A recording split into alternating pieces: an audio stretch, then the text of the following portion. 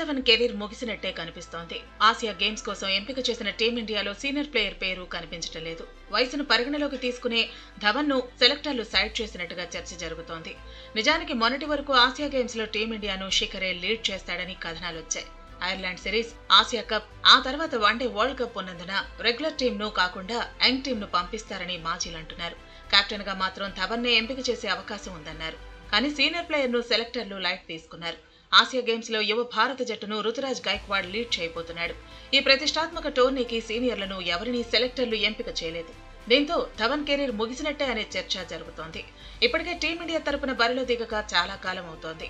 Tea ట్వంటీలో రెండేళ్ళ క్రితం శ్రీలంకపై చివరి మ్యాచ్ ఆడాడు.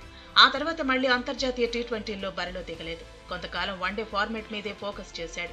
కానీ యాభై ఓవర్ల ఫార్మాట్లోనూ శిఖర్కు అవకాశాలు రావటం లేదు. గతేడాది డిసెంబర్లో బంగ్లాదేశ్పై చివరగా వన్డే మ్యాచ్లో బరిలో దిగాడు.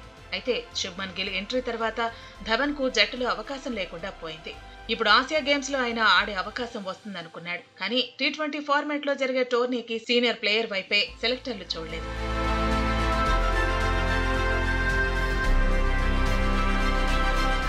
పదిహేను మందితో ప్రకటించిన టీమిండియాను యువ ప్లేయర్ రుతురాజ్ గైక్వాడ్ లీడ్ చేయబోతున్నాడు. భారత జట్టులో Kolkata knight riders player Rinku Singh తొలిసారి అవకాశం దక్కించుకున్నాడు.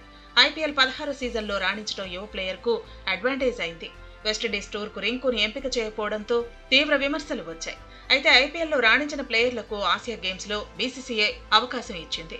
పంజాబ్ కింగ్స్ ప్లేయర్లు జితేష్ శర్మ ప్రభ్ సిమ్రాన్ సింగ్ టీమిండియాలోకి ఎంట్రీ ఇచ్చారు. జట్టులో యశస్వి జైస్వాల్ రాహుల్ త్రిపాఠి తిలక్ వర్మ ఉన్నారు. వాషింగ్టన్ సుందర్ అవేష్ ఖాన్ హర్షదీప్ సింగ్ కూడా చోటు దక్కించుకున్నారు.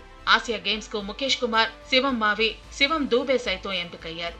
యష్ ఠాకూర్ సాయి కిషోర్ వెంకటేష్ అయ్యర్ దీపక్ హుడా సాయి సుదర్శన్ మాత్రం స్టాండ్ బై ప్లేయర్లుగా ఉన్నారు. ఆసియా గేమ్స్లో ఆడే మహిళల జట్టును కూడా బీసీసీఐ ప్రకటించింది. మహిళల జట్టును హర్మన్ ప్రీత్ కౌర్ లీడ్ చేయబోతోంది.